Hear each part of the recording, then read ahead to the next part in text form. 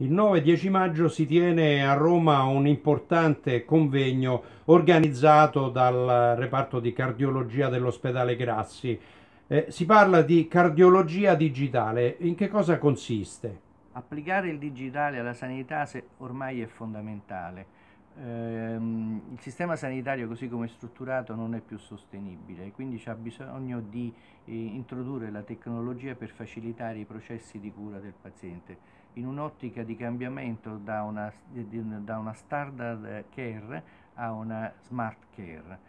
Eh, che cosa vuol dire questo? Cioè, introducendo la tecnologia possiamo semplificare tante cose, possiamo controllare meglio il paziente a distanza e quindi possiamo essere più appropriati.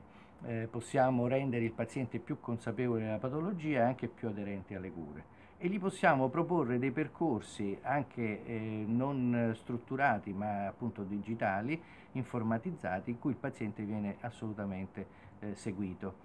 Eh, alcuni esempi, ci sono ormai dei sensori, dei dispositivi che permettono di eh, rilevare a distanza oh, una serie di parametri. Uno per tutti per esempio in cardiologia è l'elettrocardiogramma per la diagnosi precoce delle aritmie eh, e, e, comunque di disturbi cardiaci.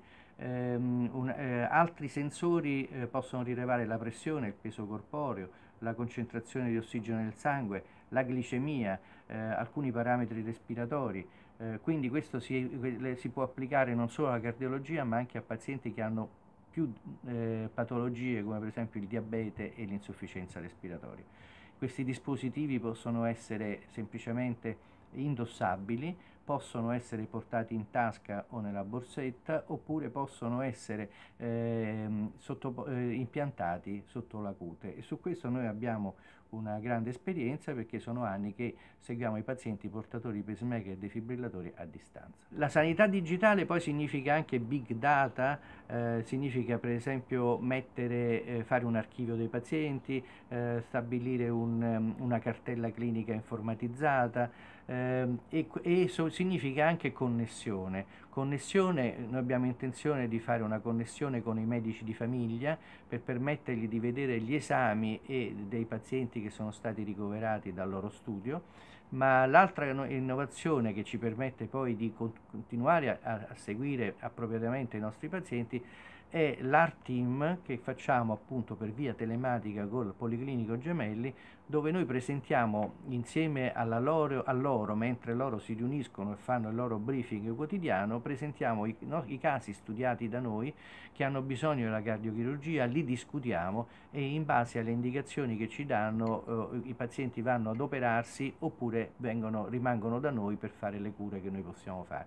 Quindi abbiamo creato una, un continuum eh, diciamo, eh, di tipo clinico. Queste sono solo alcune applicazioni che si discuteranno all'interno di questo congresso il 9-10 maggio all'Ergife e praticamente una prima parte si tratterà proprio della gestione delle aritmie eh, e comprende il congresso dell'Associazione Italiana di Aritmologia e Cardiostimolazione della sezione laz laziale. Poi successivamente ci saranno delle interessanti tavole rotonde, alcune di carattere istituzionale, con figure istituzionali, ma il, la seconda giornata sarà tutto su temi di cardiologia, le grandi sindromi di cardiologia viste non da un punto di vista strettamente clinico, ma viste da un'angolazione diversa, cioè come il digitale può aiutare a gestire meglio queste patologie, eh, perché secondo noi eh, utilizzando il digitale si possono ottenere dei risultati migliori in termini di aderenza alla terapia dei pazienti, maggiore consapevolezza dei pazienti, un contatto ancora più stretto col paziente, anche se mediato dal digitale, e, eh, quindi, e anche semplificare alcuni percorsi che adesso sono farraginosi. Quindi la sfida è una sfida interessante, eh, di questo se ne dibatterà, soprattutto eh, si dibatterà di idee eh, volte a creare delle applicazioni che facilitano il miglioramento della gestione del paziente eh, che viene ricoverato al Grassi.